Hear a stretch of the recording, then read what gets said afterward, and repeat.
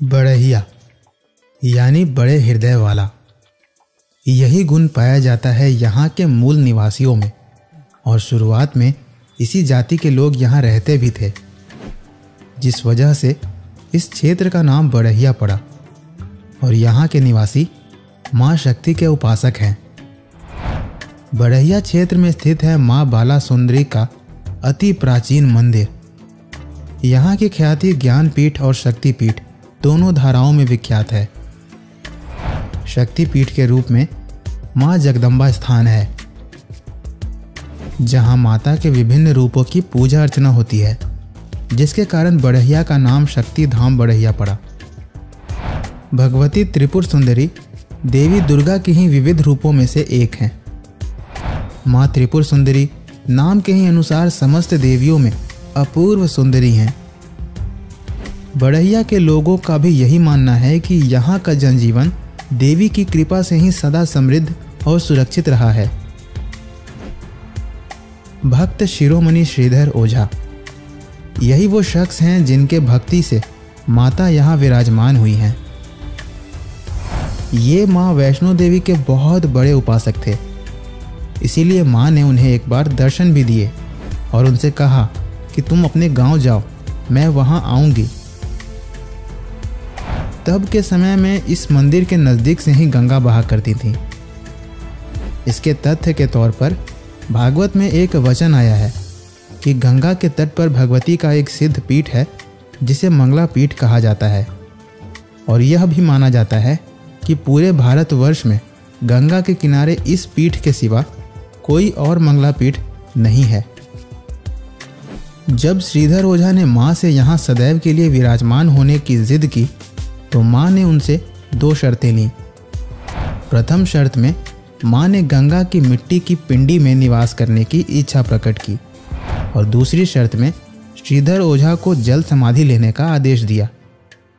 और इस प्रकार, देवी की प्रेरणा से मृतिका की चार पिंडियाँ पधारी गईं। इन चार पिंडियों में क्रमशः त्रिपुर सुंदरी महाकाली, महालक्ष्मी और महासरस्वती विराजमान हैं। फिर श्रीधर ओझा के जल समाधि लेने के बाद भक्तों ने पांचवी पिंडी भी स्थापित कर दी।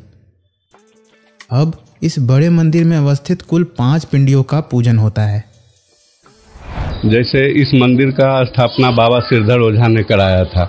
जो कश्मीर में वैष्णो देवी का स्थापना आप बाबा सिरधर ओझा का नाम सुने होंगे। तो उनको सुखद स्वप्न में बोला गया था कि आप बड़हिया के हैं आप अपने जन्मभूमि को लौट जाएँ ये यहाँ जो है गंगा का धारा प्रवाहित होता था और हमारे सिद्धर ओझा सीधा स्मशानी पुरुष थे पहुँचे हुए थे। तो वो ध्यान किए और उनको बरहिया में ही दर्शन हो गए। एक अग्नि के खपर में प्रज्वलित होते हुए वो जा रही थी। तो आवाहन किए और किनारे लगे और बोले कि माँ ये बरहिया जो है जंगलमय है। यहाँ सर्पदंश से हमेशा लोग पीड़ित होता है तो आप यहीं रह जाइए।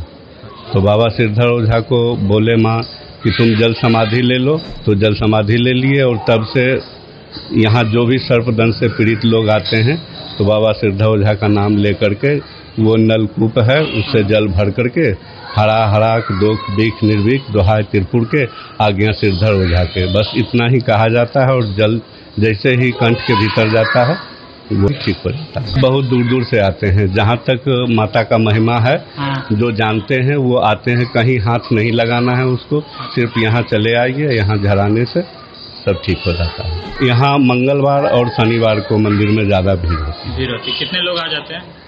लगभग पाँच हज़ार दस हज़ार लोग आ ही जाते हैं मंगल और शनिवार को जी। इसके अलावा इस मंदिर के एक और भव्य हवन कुंड भी है और एक और यहाँ का रहस्यमयी कुआँ। इस कुएँ का पानी रहस्यमय इसीलिए है क्योंकि इस पानी से यहाँ सर्पदंत से पीड़ित मरीजों को ठीक किया जाता है। मंदिर के ऊपरी भाग में कई अन्य देवी देवताओं की प्रतिमाएँ स्थापित हैं और चारों ओर मंत्र शोभायमान है।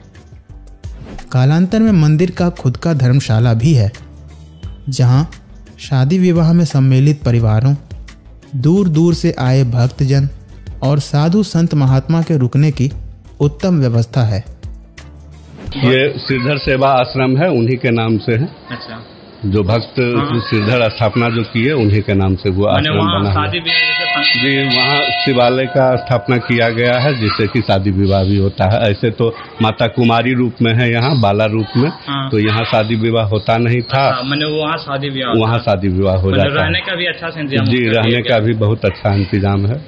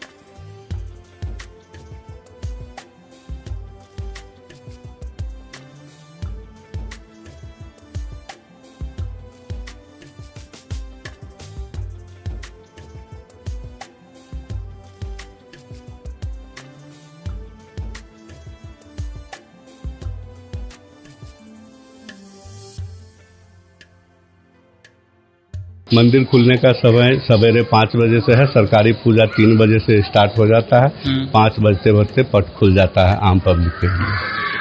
बंद होने का समय? बंद होने का रात्रि नौ बजे। नौ बजे। जी। और आरती का समय? आरती का समय साढ़े सात बजे शाम को है। और सुबह को वही पाँच बजे के अंदर हो जाता है आरती को।